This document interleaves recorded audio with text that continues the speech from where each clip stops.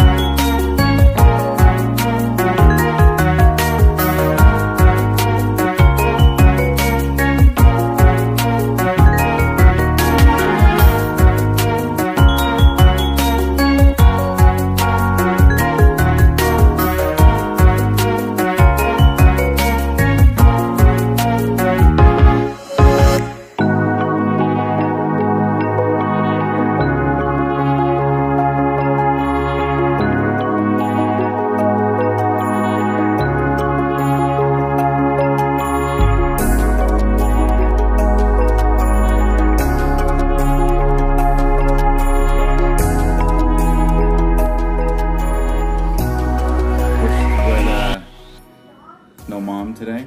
Yeah. You have daughter, Yeah. the filmographer. Sure. Shout out to the Disc Golf Podcast. Robin and Joe, killing it out in NorCal. You're nodding. okay. This is for a local player. Uh, it's in Essence. Uh, his name is Ryan. Mhm. Um, yeah, we'll see how it comes out. Uh, he wanted uh, the San Francisco Giants colors. Let's see how it turns out. All right, let's see what we got.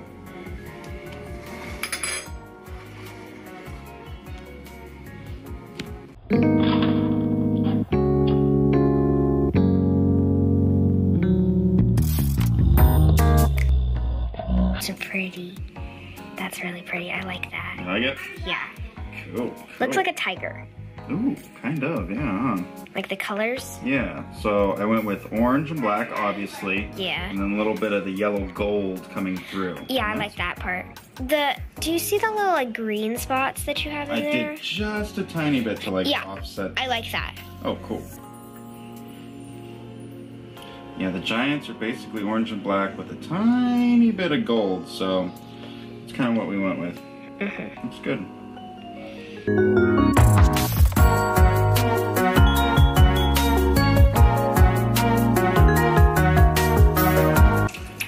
All right.